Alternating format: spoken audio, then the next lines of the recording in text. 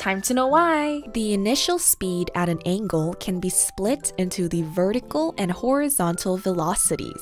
The vertical velocity equals to u sine theta and horizontal velocity equals to u cosine theta. At point Q, which is the highest point, the vertical velocity is zero. This means that the vertical momentum is zero. Horizontal velocity remains the same since air resistance is negligible. This means that the momentum at point Q equals to the horizontal momentum of mu cosine theta.